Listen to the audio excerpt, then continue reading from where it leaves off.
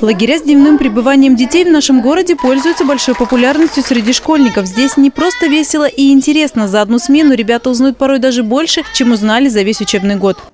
Конечно, грустно. Мне очень жаль, что мы расстаемся и с воспитателями, и с детками. Мы так сдружились. И вся, и вся эта атмосфера как-то...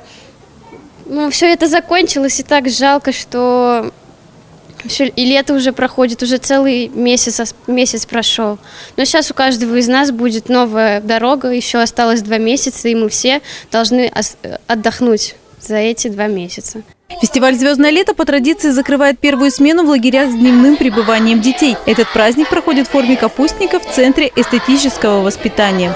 Отряды из разных городских лагерей приезжают сюда, чтобы представить свой лагерь. Получается ярко и красочно. Здесь не выставляет баллы строгое жюри. Главная награда для юных артистов – аплодисменты зрителей. Проводим мы для близлежащих школ.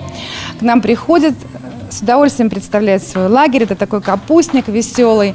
Все вместе потом заключение поют вместе общую песню «С нами друг». И мы так, на такой дружеской ноте э, прощаемся с ребятами до следующего года, потому что это традиционно ежегодный праздник. Праздник-фестиваль «Звездное лето». Первая смена в лагерях с дневным пребыванием детей подошла к своему завершению. Воспитатели с трудом сдерживают слезы. Так не хочется расставаться. Всегда так э, грустно расставаться. Сейчас у детей обязательно будут слезы. И такое будет чувство, как будто мы куда-то разъезжаемся в разные места и никогда не встретимся. Хотя на самом деле мы в сентябре все придем на занятия, все будем снова вместе, рядом. Когда они меня встречают в сентябре, в октябре, они бегут, знаете, с такой, такой любовью, вообще как будто вот мама рассталась с ребенком на два месяца и вновь встретилась. Вот так мы с ними встречаемся в сентябре. Вот, я их всегда жду, люблю и, ну, думаю, что это никогда не закончится, думаю, что лагерь будет всегда и все будет вечно.